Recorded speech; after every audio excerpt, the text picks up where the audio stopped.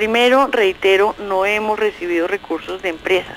Segundo, jamás, jamás hemos gestionado apoyos entre empresas que se hayan beneficiado del programa Agroingresos o de cualquier otro programa del gobierno.